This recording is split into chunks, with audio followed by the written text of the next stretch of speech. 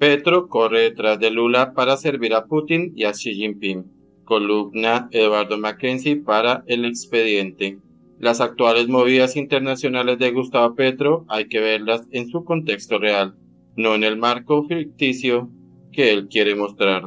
Telón de fondo de su encuentro de hoy en Washington con el presidente Joe Biden y el de la cumbre de Bogotá fijada para el próximo 25 de abril no es el arreglo de la cuestión venezolana, sino el de servir de principal comodín regional tanto de Putin como de Xi Jinping en la lucha desesperada de los dos dictadores para aislar y derrotar a Ucrania y a Taiwán, y sobre todo para debilitar a Estados Unidos y los países de Occidente en general.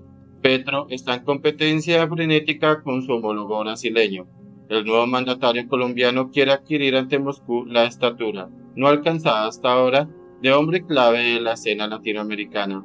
La mejor palanca para ello sería conseguir un cambio de actitud de la Casa Blanca ante el moribundo régimen de Nicolás Maduro, el elemento central del juego de Putin en el continente americano, aún más que Cuba.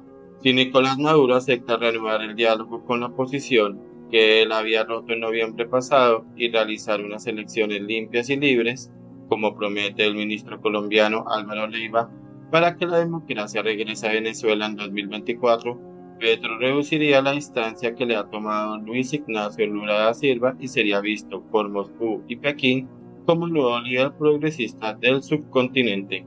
Ocultando su objetivo estratégico, Petro aspira a obtener el respaldo de Washington y de algunos gobiernos en Latinoamérica para esa movida en favor de Maduro. Sin embargo, la tarea es complicada, en cuatro meses Petro se ha reunido cuatro veces con Maduro sin obtener de este nada en materia electoral. Un regreso de la democracia sin la magia de las máquinas electrónicas de voto y sin destrucción del cartel de los soles y sin neutralización real de las narcobandas colombianas en Venezuela será imposible. La Casa Blanca además no cede en su cronograma para Venezuela.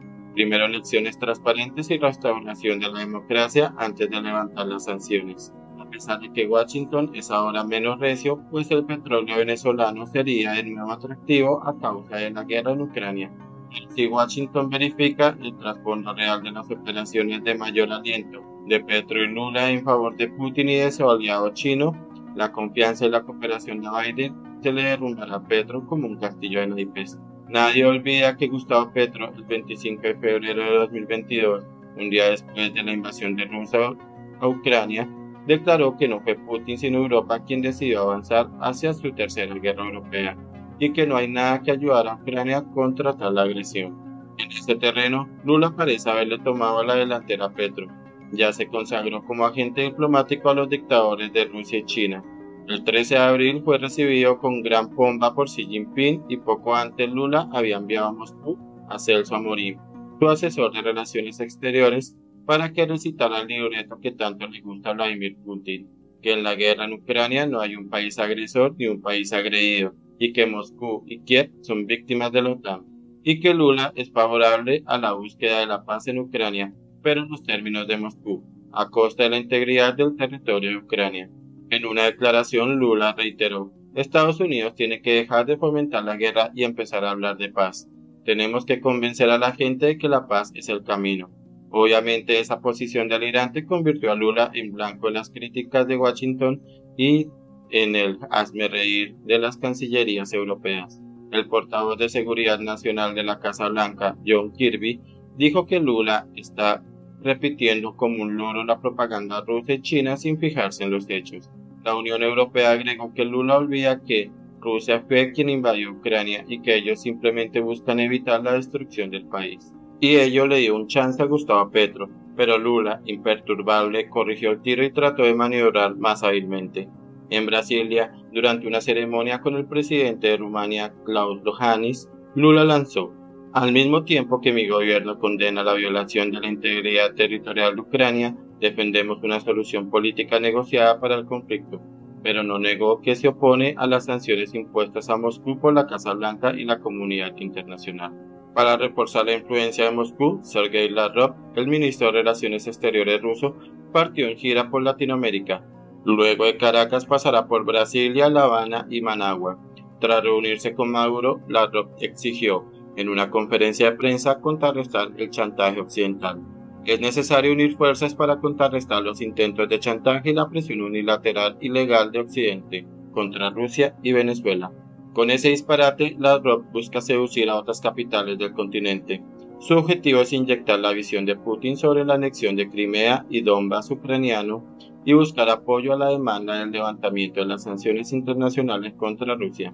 La DROP afirmó que Venezuela es sin duda alguno de los socios más fieles de Rusia y que las relaciones bilaterales Rusia-Venezuela serán fortalecidas para derrotar las presiones norteamericanas ocultando la visión paranoica de Putin, según la cual la OTAN fue la que lanzó la guerra sobre Ucrania, la gesticuló. Con nuestros amigos venezolanos abogamos por el derecho de cada nación a devenir su propio futuro sin la interferencia, sin el chantaje, desde fuera y también sin intentos de influir por vía ilegítima por sanciones. Iván Gil, un ministro maurista, respondió lo que esperaba la ROC que Venezuela condena el uso de sanciones sea contra Venezuela o sea contra la Federación de Rusia. Putin autorizó a Lavrov para que le prometiera a Lula el fuego nuclear. En la rueda de prensa, Lavrov insinuó que Rusia podría ayudar a Brasil a dotarse de plantas de energía nuclear con fines pacíficos. Hoy conversamos sobre los ámbitos que deben desarrollarse en beneficio de nuestros países y ciudadanos. Sobre todo se trata de la energía, en particular del uso de la energía atómica con fines pacíficos. Aquí tenemos una buena interacción y perspectiva, y el uso pacífico del espacio, así como la agricultura, sanidad y productos farmacéuticos, dijo el ministro ruso. Al extremo muestra que Putin también está en una carrera contra el tiempo. Según varias cancillerías de Occidente, las rivalidades dentro del Kremlin aumentarán contra Putin por la acumulación de sus fracasos militares en Ucrania la emergencia de un grupo de países latinoamericanos que se sometan a los dictados de Putin y legitime la violación rusa del orden mundial de 1945 y pida levantamiento de las sanciones contra Rusia con el pretexto de un retorno de la democracia en Venezuela y en favor de la paz en Ucrania, reforzaría la posición de Putin y marcaría el regreso de la hipnótica doctrina del no alineamiento que la Unión Soviética utilizó con tanto éxito durante la Guerra Fría. Luna se muestra dispuesto a asumir esa tarea, pero el reino de Luna también es frágil. La oposición no descarta la posibilidad de poner de nuevo a Luna contra las cuerdas por los delitos de corrupción que él arrastra y que le valieron una primera condena en 2017. ¿Qué salida le queda entonces a Petro? Cederá liderazgo a Lula y se unirá como un segundón a la maniobra estratégica en beneficio de Rusia y, sobre todo, de la China comunista. Ello será apoyado por la mambertería internacional, pero generará en Estados Unidos, Europa y Asia gran rechazo. En Colombia, amplios sectores verían esa aventura como otro vuelco suicida inaceptable que alejará a Colombia de Washington y del mundo civilizado.